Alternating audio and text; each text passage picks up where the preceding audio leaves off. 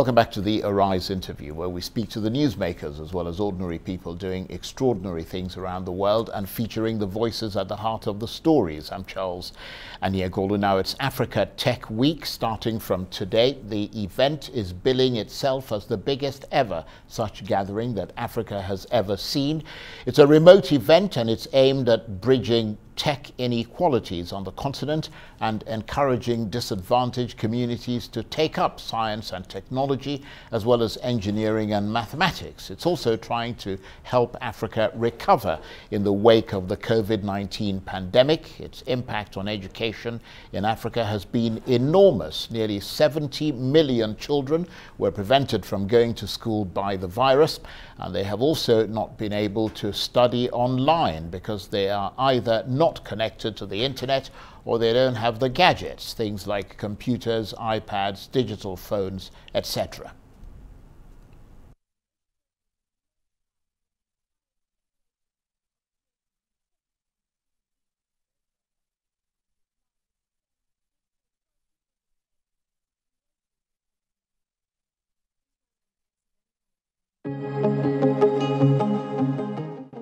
Africa Teen Geeks since its inception, Africa Teen Geeks has grown to be the largest computer science non-profit organization in Africa.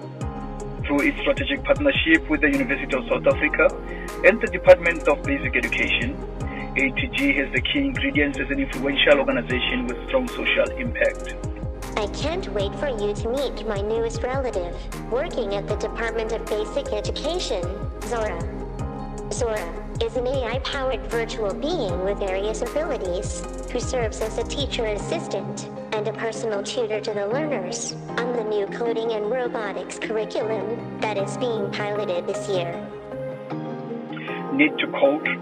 It's a program that teaches young girls without access to computers coding through knitting. Girl Geek. Another program by ATG which aims at increasing the pipeline of girls who pursue STEM careers. ATG hosted the Girl Geek Summit with most influential women in technology who engaged and inspired our future female leaders. Africa Teen Geeks inspire, equip, and educate. And of course, uh, one of the voices that attendees will hear at that Mammoth Africa Tech Week conference is that of Lindiwe Matlali. She's the founder and CEO of Africa Teen Geeks. That's the video you just saw there. She's been gearing up for Tech Week and she joins me now from Johannesburg in South Africa. Uh, good to see you, although your, your internet uh, doesn't look absolutely brilliant, I have to say, with rather undermines the idea of a big sort of tech week and all the connectivity that's being talked about. But first of all, tell us more about this Africa Tech Week conference and what makes it the biggest gathering of tech leaders and digital entrepreneurs ever in Africa.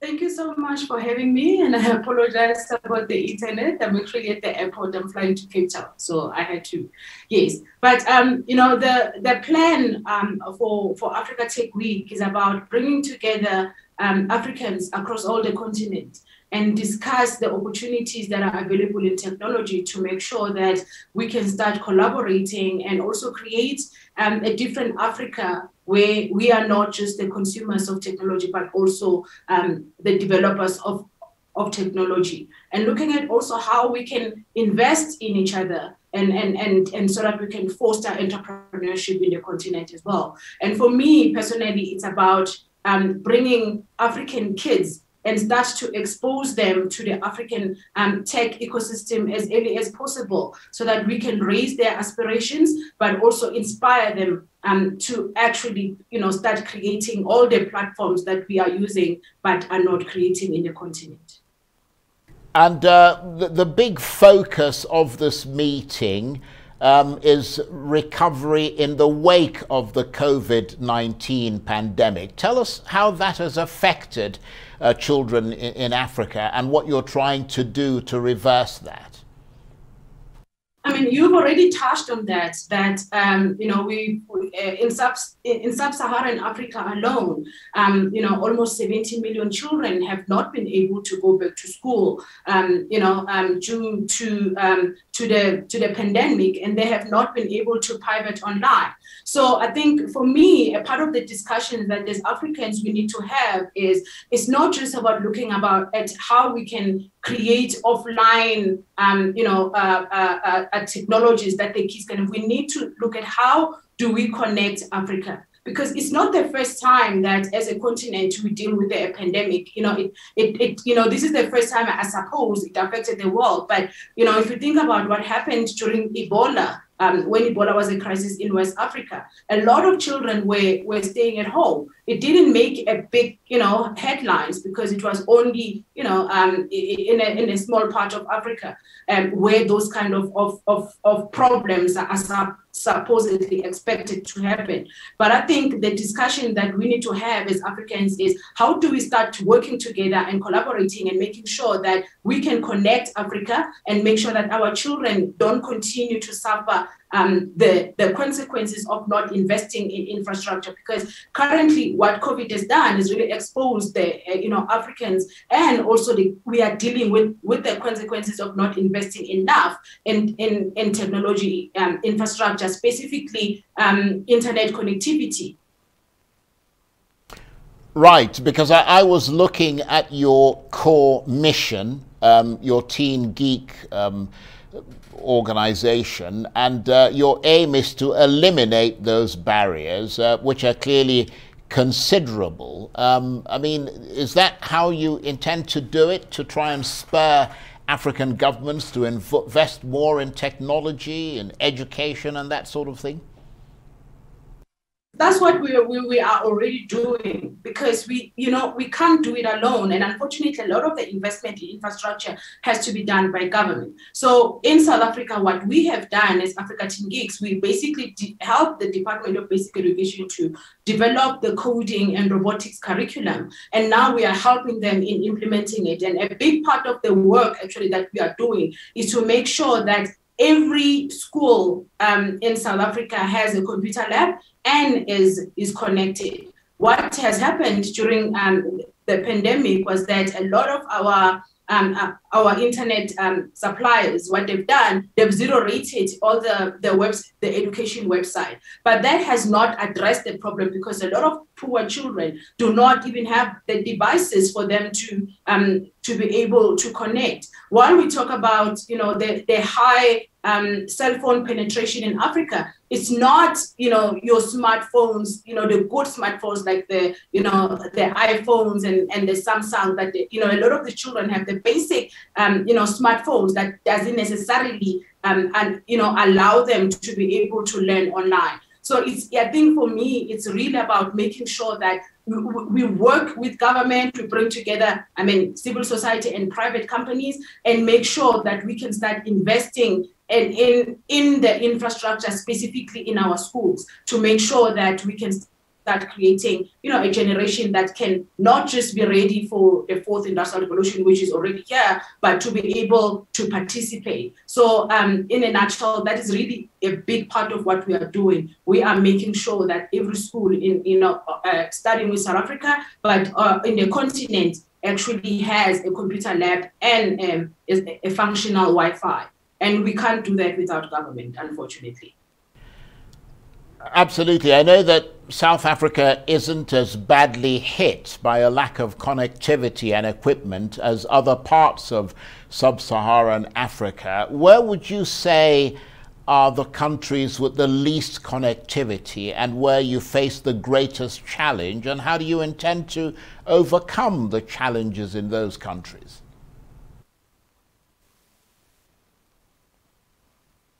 Um, countries like um, obviously Zimbabwe, which is our immediate neighbor, um, is probably, I would say, one of the struggles. But I think it's not also just that. It's not just, you know, connectivity alone, but we also have issues with, um, um, with um, electricity. So if, if you don't have electricity, you can't have internet. So those things also, I mean, the um, the, the the problems that we, we have to deal with um, are much bigger than just getting a device. It's really making sure that the infrastructure is there and is conducive for um, for us to be ready because um, every year we talk. I think for us in South Africa in 2019, it was the year where the president launched the you know the presidential fire commission in, in which I serve, and it was really excited this for and the, that's fourth industrial revolution that is coming.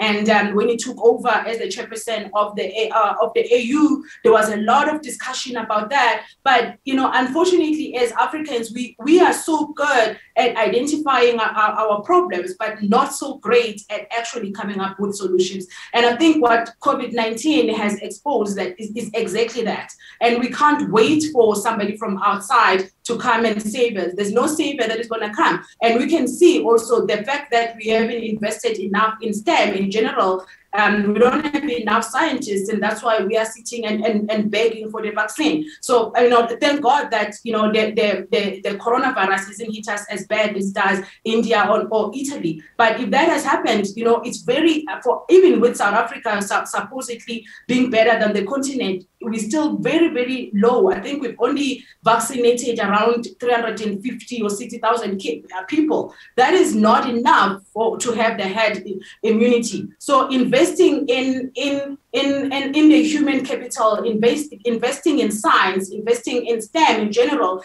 is really important to get Africa from, you know, from just always being the, the continent that is always begging for somebody to come and help. And we know that hasn't happened and it's not going to happen unless we rise up own.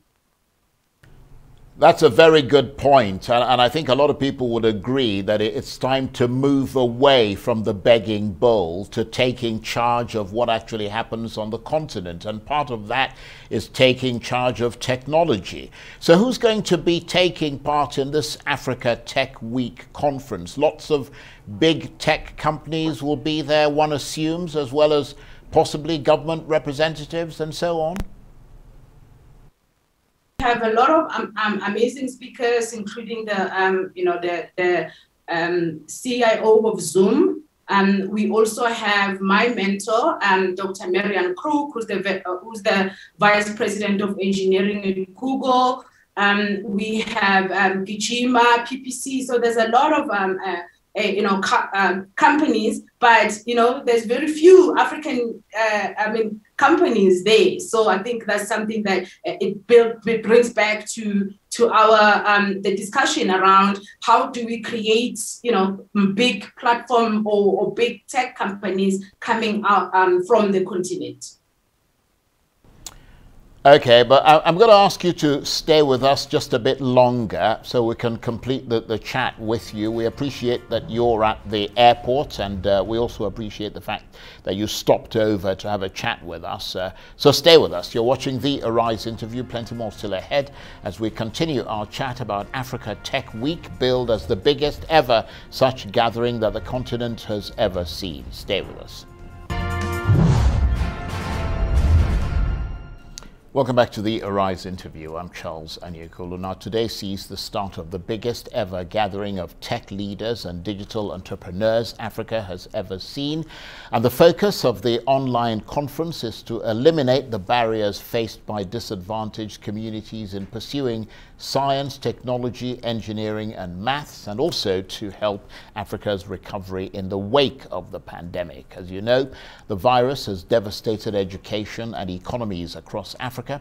Tens of millions of children saw their education drastically curtailed, while millions of businesses were ruined. Well, this year, the attempt to rebuild is continuing, and it's generally accepted that technology has to be at the heart of that recovery. Experts say that technology will be central in equipping young people with the vital skills to successfully compete in an increasingly digital world. And this is a key focus of this year's Africa Tech Week conference. And one of the key speakers at that conference is Lindiwe Matlali, CEO and founder of African uh, Africa Teen Geeks, and she is still with me from Johannesburg, South Africa. Uh, thank you for staying with us. Tell us what you're actually going to be saying at that conference. You're one of the key speakers there. I actually, um, you know, I was, I will be talking specifically about the importance of of um, having women in tech. Um, and I'm having a fireside chat with Dr. Marian Croak, who is the, the vice president of engineering at Google, but also the, the black woman credited with developing voice over IP. So um, my discussion with her is really would be around how do we create, you know, the um, you know, a tech ecosystem that fosters innovation and understanding also with the, the importance of, um, you know, raising, as I mentioned, young people that are, are, are inspired, that have, have high aspirations, because that is really, really important. The children cannot become what they haven't seen. Um, and, and, and also with the importance of exposure in getting them to see role models and specifically, you know, people that look like them that have invented and created something. So that is really what I, I will be talking about. And it's also very much aligned with the mission of Africa Teen Geeks to really get children to, to start thinking, seeing themselves as innovators rather than consumers. And I mean, it, it, sounds like that there's a lot of work to do going forward, and that the challenge is always that um, these big conferences tend to be, you know, mammoth talking shops, and people make promises and all the rest of it. But the challenge is the follow up after such a big conference, isn't it?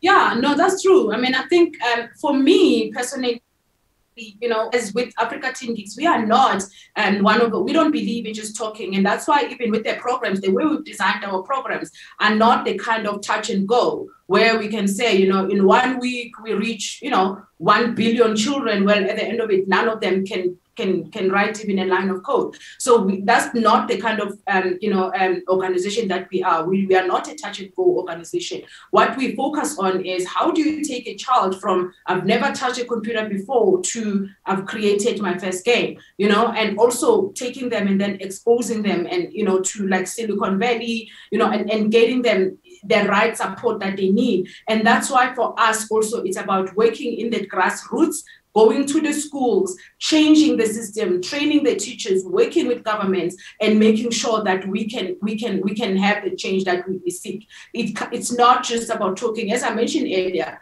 we are really good as Africans in talking, and we've been talking, talking, talking. But now we need to have. I mean, for me, I'm hoping that we can have a lot, you know, a, a lot of of social entrepreneurs in all African countries so that we can start working together and solve the problems. Because one thing I like about social entrepreneurs is that they are already fixing the problems in their communities. So now if we're to work together and look at how, because the, the same problems that, you know, are in Nigeria that are in South Africa, right? So there's no need that we need to always try to reinvent the wheel. But if we if we cooperate and and, and, and look at, for example, the um, the, the, the newly launched um, African um, trade um, organization to try and enforce a trade within Africa. Those are the things that we have to really, really in, focus on, build, and make sure that they work. They will only work if we make them work. Yes, and and um, it, it, I mean, it, it, it sounds though, and I think you made this point previously, as though much of your work has focused on South Africa. That's where you appear to have achieved the most. But is there any other part of Africa where your presence has been felt in terms of really making a difference or starting to make a difference? Um, yeah, I mean, we have um, started our program in, in Lesotho, and um, you know, I, and we will also be starting actually that we, we would have already started in Zimbabwe had it not been um, for COVID-19. And also we we actually have a presence in Nigeria which has been more focused in, in, in, in events. And now we are looking at actually um, working with Nigerian um, social entrepreneurs in, in bringing, you know, the work that we've done, but also learning from them and seeing how we can, we can start building um, the ecosystem. And I think for us, obviously, South Africa was a, um, I would say a pilot, you know, for us to see because you know there's uh, South, South Africa has huge inequality. So you have Johannesburg Sandton that has everything. It can be any city in the world. And then you have Alexandra or, you know, some parts of Soweto that are terribly poor that you know there's no sanitation, there's no um, proper electricity. We have schools that um, uh, have the the state of the art um, infrastructure, and then you have schools where children are still dying trying to go to, to the to the toilet. So the um, it, it it has all of those kind of you know problems that you see in Africa. And for us, while solving them in South Africa and looking at what we can do, then is how then we share what we are doing with other African countries. And um, our model is also not to go in in any African country and you know launch an Africa Teen Geeks, but it's about working with with um, you know the people in that country. So for example, as we come into Nigeria, we are working with um, Nigerian NGOs because I don't I'm I don't believe that you know I can go and think that and assume just because I'm African, I can understand the problems that Nigerian have better than a Nigerian. So what we do, we go there and we collaborate and try to see how we can learn learn from each other and make sure that we create the kind of collaboration that will lift um, the continent. So, how can people join this conference if they want to? I mean, do they have to have pre registered for it, or can they just sort of click on a line and get into the, the groove, as it were? Yeah, um, the links are on Africa Tech Week, but they are on our um, um, uh, Africa Teen Geeks website as well. Um, those that want to attend um, the session, but it's also been live streamed on Africa Tech Week um, website and their Facebook page. has also been um, live streamed on Africa Teen Geeks um, Facebook page as well. And, and, is there much participation from countries such as Nigeria and Kenya in, in that conference where there are big sort of digital entrepreneurs and so on, certainly aspiring ones? Yeah, I mean, we um, I've seen quite a lot. Mean, there've been also been a lot of engagements that I've had with um, um, Kenyan entrepreneurs and Nigerian entrepreneurs. So um, it's really exciting to see that. Actually, one of the people I know quite well that I've actually engaged with Nigeria and that I'm really trying to do a lot with is um, E. The you know the um, he goes by E because I always um, not pronounce his name properly or Eo, the the founder of um, the the co-founder of Ande, uh, Andela and and Flutterwave. I mean, these are the people that we want our children to know. We want our children to to know what is possible, and we want him to you know and and people like him to be visible and be the the role models that our children can see what is possible so yeah i mean um, um, i've seen quite a lot of that and it's actually exciting to see there also the interest in collaboration and as right. you said earlier what's important now on Okay, uh, Lindiwe Matlali, CEO and founder of Africa Teen Geeks. I want to thank you very much indeed for joining us. It's a pity you did so from the airport. Uh, I have to say the quality of uh, the internet there is not very good, but we managed to get the gist of most of what you're saying and what you were talking about in terms of that uh, Africa Tech conference that begins this week. That's it for this edition of the Arise interview. Join us again tomorrow. From me and the entire team here in Abuja, Lagos, and South Africa, bye bye, and thank you for watching.